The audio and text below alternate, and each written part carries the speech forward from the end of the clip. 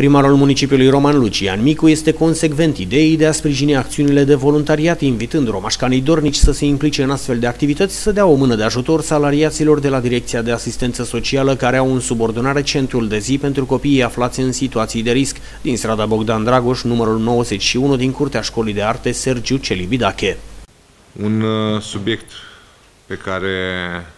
tot timpul am uh, sprijinit, indiferent de calitatea pe care am avut-o, a fost acea, acela legat de activitatea de voluntariat și îmi propun foarte mult să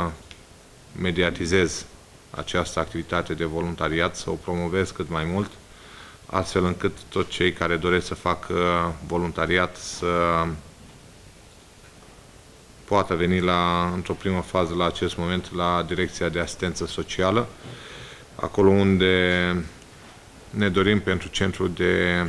îngrijire de zi pentru copii aflați în situații de risc, Casa Copiilor.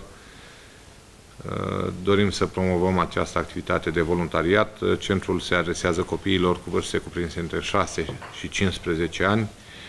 iar principala misiune a acestuia este prevenirea abandonului uh, școlar și a instituționalizării prin uh, creșterea calității vieții copiilor. Aceste persoane care doresc să facă voluntariat Uh, se pot uh, adresa la sediul uh, care este situat în Roman, strada Bogdan Dragoș, numărul 91, în Curtea Școlii de Artă Sergiu Celebidache. Activitățile de voluntariat se desfășoară în baza legii 78 din 2014, care pot fi considerate activitate profesională în funcție de tipul acesteia, dacă este realizată în domeniul studiilor absolvite.